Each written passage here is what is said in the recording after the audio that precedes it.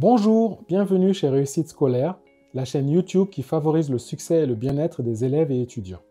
Moi, c'est Jeff, consultant en stratégie, coach et polytechnicien. Le principe que je vais décrire vous permet d'apprendre plus en moins de temps. Selon le principe de Pareto, environ 20% des actions produisent 80% des résultats. Cela signifie également que 80% des effets proviennent de 20% des causes. Voici quelques situations 80-20 que vous pourriez reconnaître. Vous portez 20% des vêtements dans votre placard 80% du temps. 20% des clients d'une entreprise génèrent 80% de ses bénéfices. 20% de la société possède 80% de la richesse. Ce n'est pas toujours une séparation 80-20, c'est parfois 70-30 ou 90-10. Mais c'est rarement une division égale entre action et résultat.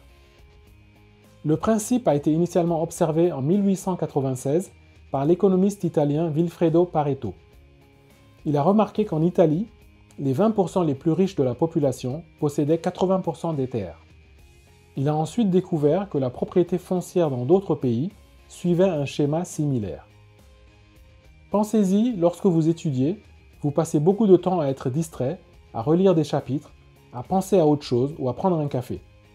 Prenons une session d'études de 5 heures à la bibliothèque et décomposons-la.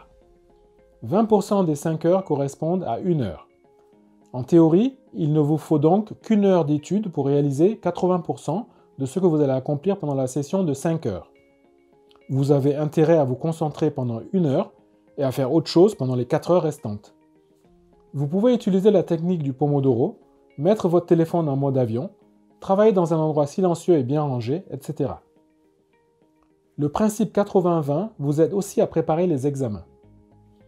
Quand vous consultez les annales d'examen des années précédentes, vous constatez que certains thèmes reviennent plus souvent que d'autres dans chaque matière. En quelque sorte, 80% des sujets d'examen proviennent de 20% du cours. Avec l'habitude, vous pourrez identifier dans chaque matière les parties les plus importantes du cours, le cœur de ce qu'il faut apprendre, les 20% qu'il faut maîtriser sur le bout des doigts. Ça ne veut pas dire que vous pouvez ignorer les 80% restants du cours. Ça veut simplement dire que vous avez intérêt à passer le plus de temps possible sur les 20% qui forment le cœur de ce cours. Dans certaines matières moins importantes pour vous, il est possible de lire un résumé du chapitre ou du livre et d'en tirer 80% de ce que vous en aurez retiré en lisant tout le chapitre ou tout le livre. Si vous avez le temps de lire tout le livre, c'est mieux, à condition que ce ne soit pas au détriment d'une autre matière plus importante pour votre scolarité. Sinon, lisez un résumé du livre et vous serez beaucoup plus avancé que l'élève qui aura carrément fait l'impasse sur cette matière. L'application du principe 80-20 vous apprend à donner de la valeur à votre temps. Pour chaque heure disponible pour étudier, vous voulez la consacrer à ce qui aura le plus d'impact pour vos résultats. Comme les animaux de la ferme de George Orwell, les heures passées à étudier ne sont pas égales entre elles. Une heure pendant laquelle vous vous concentrez sur le cœur d'une matière peut valoir 4 heures de révision disparates avec des interruptions téléphoniques. Merci d'indiquer dans les commentaires si vous connaissez d'autres techniques pour être plus productif.